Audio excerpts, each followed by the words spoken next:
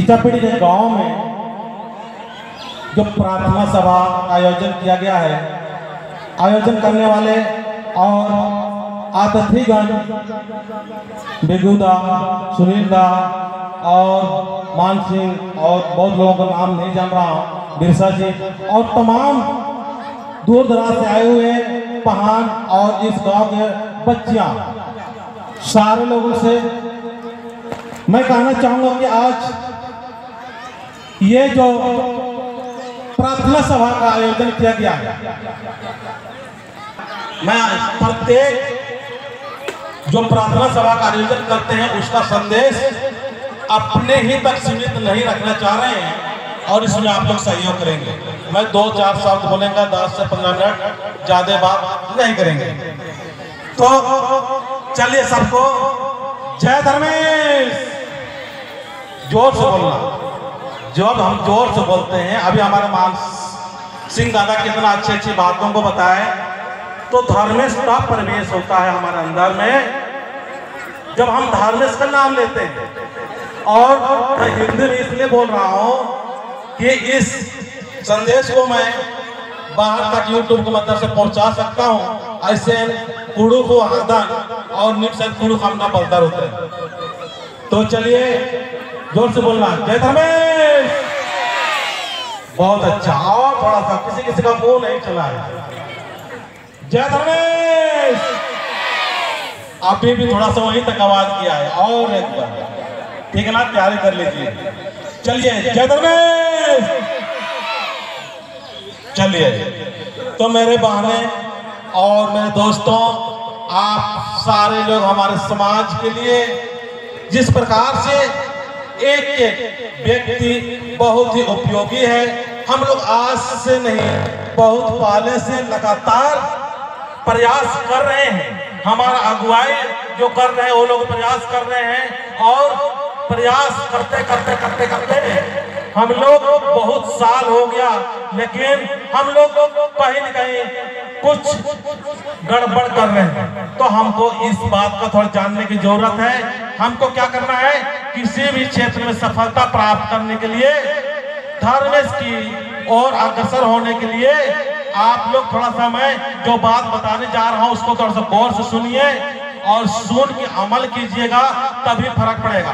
तभी आप लोग को इस चीज़ को पता चलेगा कि यहाँ जो वर्षगठ हम लोग मनाए, इसका हमको आज अपने अंदर जो बुराई है, हमारे अंदर में जो बुराई है, चाहे मानसिक हो, चाहे शारीरिक हो, उस शारीरिक बुराई दूर हो सकता है। तो मैं चाहूँगा कि आप लोग यहाँ आए हुए आज इस प्रार्थना सभा के द्वारा सभी लोग परिवर्तन हो जाए। अगर आप परिवर्तन होते हैं तो आपका जीवन बेहतर होगा। आपका पारिवारिक जीवन बेहतर होगा। क्या आप लोग अपनी ज़िंदगी बेहतर करना चाहते हैं? बेहतर करना चाहते हैं? अरे कोई कोई मुंडी हिला रहा है। भगवान उसी को आशीर्वाद देते हैं। बोलता कि रियल में मेरा भक्त है। सरनाम आया हुआ है। क्या आप लोग सुनने को तैयार हैं?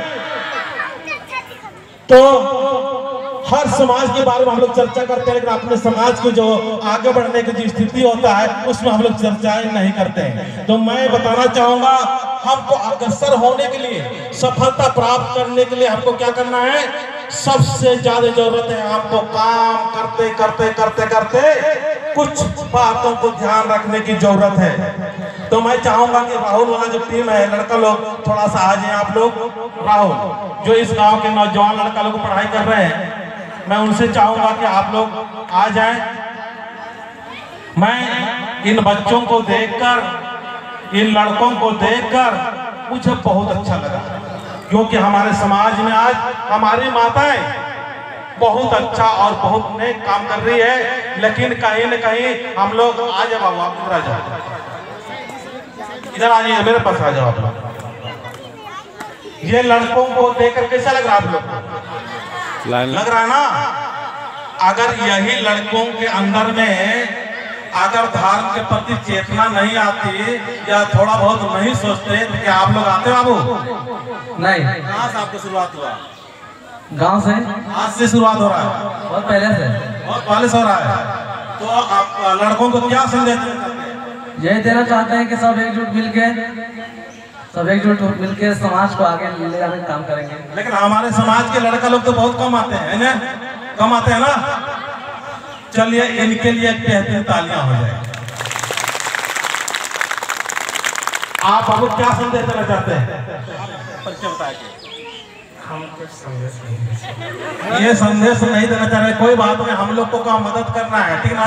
हम लोग को क्या करना है? मदद करना है, लड़कों को उत्साहित करना है। ठीक बाबू, आप क्या संदेश देना चाहते हैं? यही बोलेंगे कि आदिवासी समाज आगे बढ़ते रहे। और आदिवासी संख्या ज़्यादा रहे यहाँ झारखंड में। और सब तरफ़ पहले करना आदि लोग, आदिवासी लोग, बस यही बोलेंगे। चलिए, लड़कों के लिए तालियाँ हो जाए।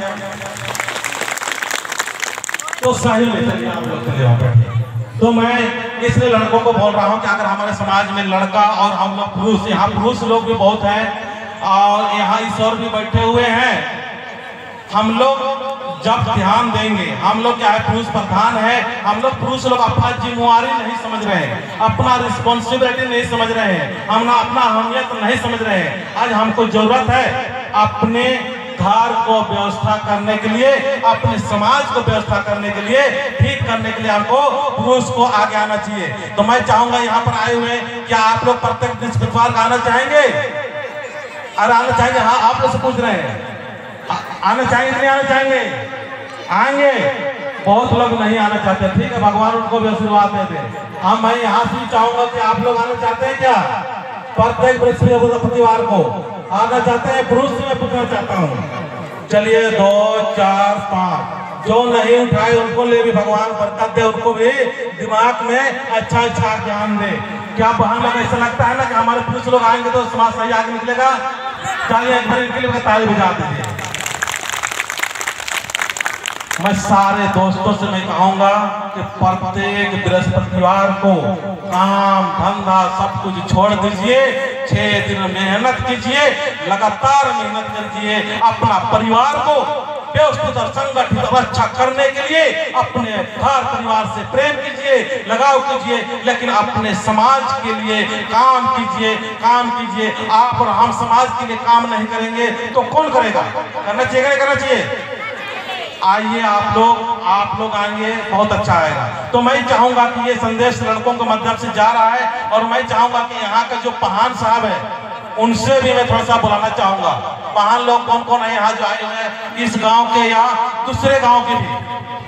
ताकि मैं ये संदेश को आगे तक मैं पहुँचा सकता हूँ। पहान जी, कोई भी पहान आ सकते हैं और दूसरे गाँव का भी आ सकते हैं। तो भांजे आप लोग ज़रूर सरना में आना और एक दिन हम लोग को ऐसा संदेश देने का प्रयास करना चाहिए ताकि हम लोग आगे बढ़ेंगे। ये बहन जी के एक लिए तालियाँ मेरे तरफ़ से होना चाहिए। क्या मैं बहन जी से कुछ पूछूँगा? आप नाराज़ तो नहीं होंगे? परमिशन चाहिए भाई। नहीं होंगे ना? आप नहीं होंगे ना? कुछ पूछेंगे तो नाराज़ नहीं होगा। चलिए ये लोग नाराज़ नहीं होंगे। ठीक है एक बार तालियाँ बजाइए। तो मैं पहान जी से मैं पाऊँगा कि आप इसी गाँव के आप? क्या नाम सर आपका? विनोद राम। तो इस गाँव को लाइन अप करने के लिए और इस गाँव को व्यवस्था को ठीक करने के लिए भगवान ने आप पहानों को जो एक अधिकारी बनाता है, आदमी तो नहीं बनाता है ना? कौन बनाता है? भगवान बनाता है। कौन बनाता है? धर्मेश बनाता है। इनको नियुक्त किया है। इनको चुना है कि तुम आप अपने समाज को, अपने समाज को व्यवस्था कीजिए, अपने समाज के लोगों को ठीक रखिए और पूजा पाठ की तरफ़ लाइए ताकि हमारा समाज ठीक होगा। तो क्या आप सरना के बारे में जब प्रत्येक बृहस्पतिवार को यहाँ से संदेश लगातार जा रहा है हम लोग माध्यम से, इसमें आप क्या कहना चाहेंगे? देखिए, हमारे गाँव में लगातार 10 साल से हम लोग सरना प्रार्थना सभा को करते आ रहे हैं और हर एक गाँव में हम लोग जाते हैं और सर- सरना सभा का बारे में हम लोग चर्चा करते हैं कि हमारा समाज में जो कुर्तियाँ हैं, जो हम लोग इधर उधर भटके हुए हैं, उनको कैसे सुधारा जाए, इस पर हम लोग ज़्यादा बात को रखते हैं। और हमारे गाँव के जितने भी बुज़ुर्ग नौजवान, सबसे पहले तो मैं कहूँगा कि जो हमारे साथी हैं पेनघोड़ा पटवार उन लोग का भी साथ है, लेकिन जितना होना चाहिए, वो थोड़ा सा कमी है। तो ज़्यादा अगर मिले तो कुछ और हो सकता है। साथ ही हमारे गाँव के जितने भी बुज़ुर्ग लोग हैं बुद्धिजीवी लोग हैं, सभी लोग हम लोग हम लोग को साथ अगर मिले तो शायद हमको लगता है कि जिस तरह से हम लोग समाज को दिशा निर्देश करने के लिए हम लोग अग्रसर हैं, वो और बेहतर हो सकता है? और हमारे समाज के जो नन्हे मुन्ने प्यारे बच्चियाँ, जो अभी पढ़ना लिखना जो छोड़ दी हैं, ये हमारे समाज का कमज़ोरी है तो उसको भी हम लोग दिशा निर्देश करने के लिए तत्पर रहेंगे। तो चलिए पहान जी ने बहुत अच्छा अपने बात को बताया, इस पहान के लिए एक हो जाए और मैं पहान जी से यही कहूँगा कि कोई आए या ना आए, आप इस गाँव को दिशा देने के लिए आप प्रत्येक बृहस्पतिवार को ज़रूर आए। इसमें क्या कहना चाहते हैं, सर? देखिए, लोग को मैं नहीं देखता हूँ कि लोग करते क्या है। मैं ये देखता हूँ कि मैं अच्छा कैसे करूँ। मैं लोगों को बताने से ज़्यादा मैं खुद को मैं करना चाहता हूँ कि लोग मुझे अच्छा कैसे कहें। इस पर मैं ज़्यादा सोचता हूँ। इसलिए मैं ज़्यादा लोगों को कहता नहीं हूँ। मैं खुद से मैं सरना स्थल में आता हूँ, अपने पूजा पाठ करता हूँ, जो हमारे पूर्वजों द्वारा बताया गया उस विधि विधान के माध्यम से। चलिए, प्रत्येक बृहस्पतिवार को पहान साहब के अगुवाई में आप लोग पीछे पीछे आना। आने को तैयार आप लोग? आने तालियाँ हो जाते हैं इनके लिए बेहतरीन। क्योंकि इन्हीं के माध्यम से हमारा समाज आगे बढ़ेगा। ये लोग अपना समस्या या अपना इसमें भी जुटे रहते हैं। लेकिन जब ये लोग आगे आएँगे तो हमारा समाज बहुत जल्दी आगे बढ़ेगा। ठीक है ना? बढ़ेगा कि नहीं बढ़ेगा? चलिए और इनके लिए तालियाँ हो जाए। मैं ये सोचता हूँ कि आज मैं क्या कर रहा हूँ, वो कोई बड़ा मायने नहीं रखता। लेकिन कल के दिन में, मैं कहाँ जाने वाला हूँ, वो बहुत बड़ा मायने रखता है। आज मैं कुछ भी कर जाऊँगा, लेकिन वो एक परसेंट मायने नहीं रहेगा।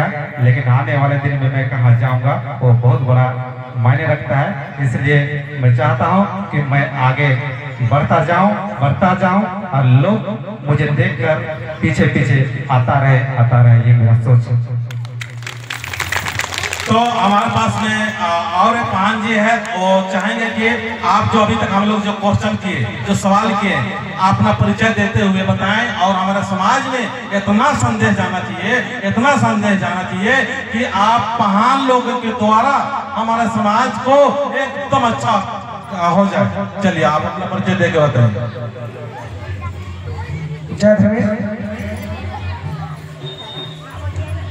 अभी अभी इचापीढ़ी के हमारे पहान जी ने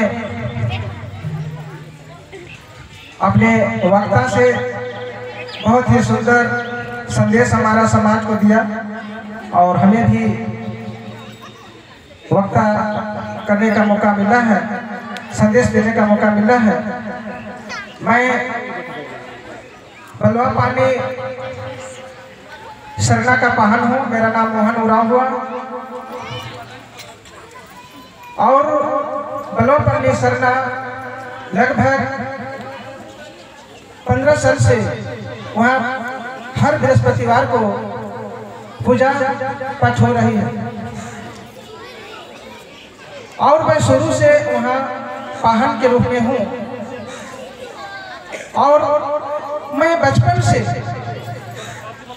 मैं जब से होश हवास में आया, तब से मेरा समाज का जो दुख देखा, उसको देखकर हमको बहुत दुख होता था।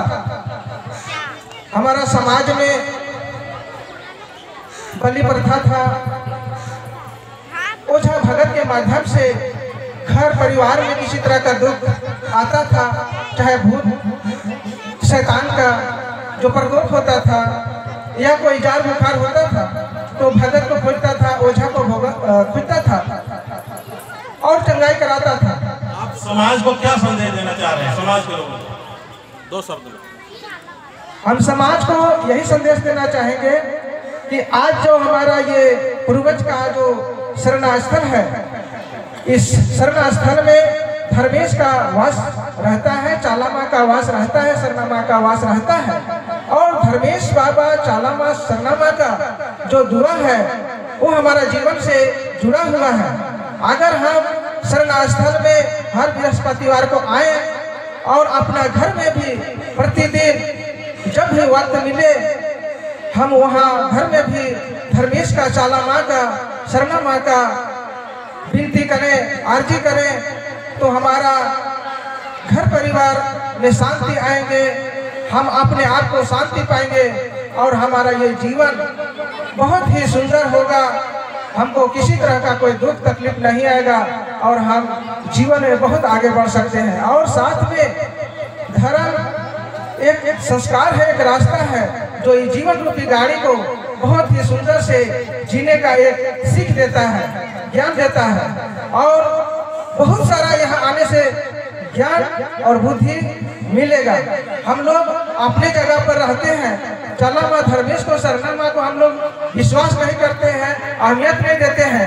लेकिन अगर हम लोग विश्वास करके आए तो जीवन में आनंद ही आनंद और खुशी ही खुशी और जीवन का हर मनोकामना पूर्ण हो सकता है। जो जीवन में सोचते हैं। चलिए, इसके लिए बेहतरीन तालियाँ होना चाहिए और मैं मत और दो मिनट लूँगा। और मैं चाहूँगा कि आप लोग अपना मन की शांति और परिवार की शांति इसमें विश्वास रखें। और सफलता के लिए मैं दो मिनट के लिए बताना चाहूँगा कि सफलता के लिए एक तरफ़ भक्ति है और एक तरफ़ ज्ञान है और बीच में कर्म है। जब हम भक्ति करते हैं तो हमारे अंदर में अच्छाई अच्छाई आने लगता है और अच्छाई प्रवेश होता है। और ज्ञान के माध्यम से हमारे जो अच्छाई और बुराई क्या चीज़ है उस चीज़ को क्या करते हैं? तर्क वितर्क करते हैं। इसीलिए हम लोग को क्या करना है? ज्ञान के लिए लगातार आप किताब पढ़ते रहिए। लगातार आप अच्छी अच्छी चीज़ को देखते रहे, सुनते रहे, गलत चीज़ को मत करना।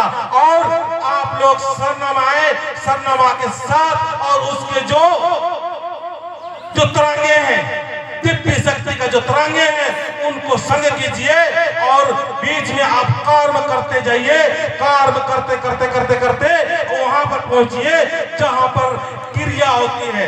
कि कर्म मतलब क्या होता है? जब हम कर्म करते हैं तो अहंकार आ जाती है। मैं तो धार्मिक हूँ, मैं तो पढ़ा लिखा हूँ, लेकिन जब केवल कर्म करने लगते हैं तो अहंकार आता है। कर्म हम करते नहीं, इसलिए हमको कर्म करते करते कहा जाना है?